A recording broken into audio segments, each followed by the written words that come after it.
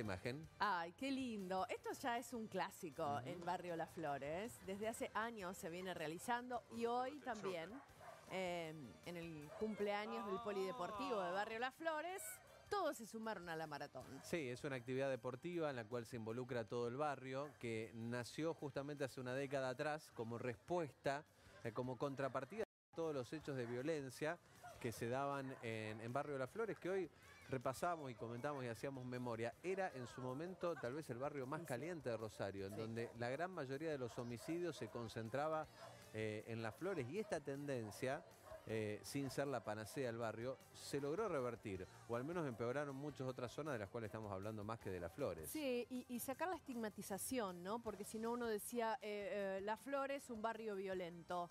Y toda esta gente, y toda esta gente son los vecinos que forman parte históricamente de los vecinos de Las Flores, en donde habrá un grupo de violentos e inadaptados que irrumpen, que traen miedo, pero también están todas estas personas que celebran todos los días vivir en el barrio y quieren salir a tomar pacíficamente las calles y a mostrar que también hay otra realidad. Este es el Maratón por la Paz en Barrio Las Flores. Se realizó hoy a media mañana y estuvimos acompañando a los vecinos.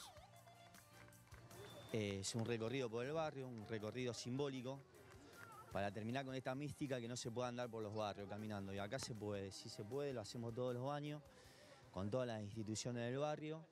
Y justamente, bueno, hoy es el cumple 25 años del polideportivo, por lo tanto, para nosotros tiene doble sentido. Es un día de fiesta, es un día de festivo, justo nos tocó un buen día, así que re contento representando al grupo, a la municipalidad y al grupo de profesores que trabajan con nosotros. eh, para nosotros es un día fantástico y de alegría y de festividad. Pero al principio medio nervioso y pensé tipo iba a quedar un puesto mucho menos, tipo lo de la mitad o más abajo. Y fui iba tercero. Le pegué un pique primero y iba tercero. Y después enganché con toda y no sé ni yo cómo hice que lo pasé al pibe ahí. final. Me salió al final. Y siempre representando acá. A la mejor. A la mejor. A ver, contame, ¿qué significa para vos correr acá en el barrio? Eh, un orgullo, porque de chico que vivimos acá ya también. Y también muy sorprendido de lo que hice yo, pues no me esperaba ganar primero.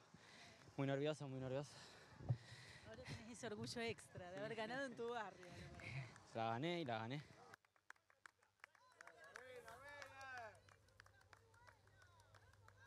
Bueno.